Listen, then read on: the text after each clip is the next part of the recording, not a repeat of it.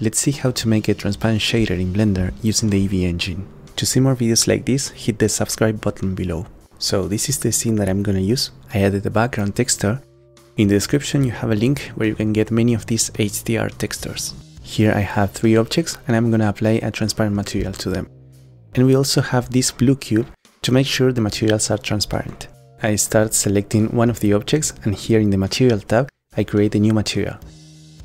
Give it a name and assign a color to it. I select the other objects and assign them the same material. For the transparency, we will use the Principled BSDF shader. Scroll down to the transmission parameter, set this parameter to 1, and also lower the roughness. I will give it 0.2. Note that here the material has transparency, but only shows the ambient texture in the transparency. We cannot see the blue cube through the object. For that, we will need to activate three things. Here in the rendering properties, first activate screen space reflections. Note how this cube is reflected on the surface of the sphere. If I deactivate screen space reflection, it disappears.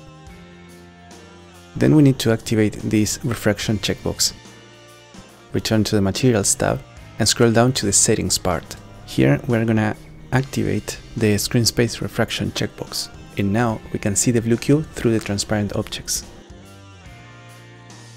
The rest would be tweak all the other parameters until we get the result we like. I'm gonna leave it here and make a render and this would be the result. That's all I wanted to show you, hope you find it useful, subscribe for more videos like this and see you next time.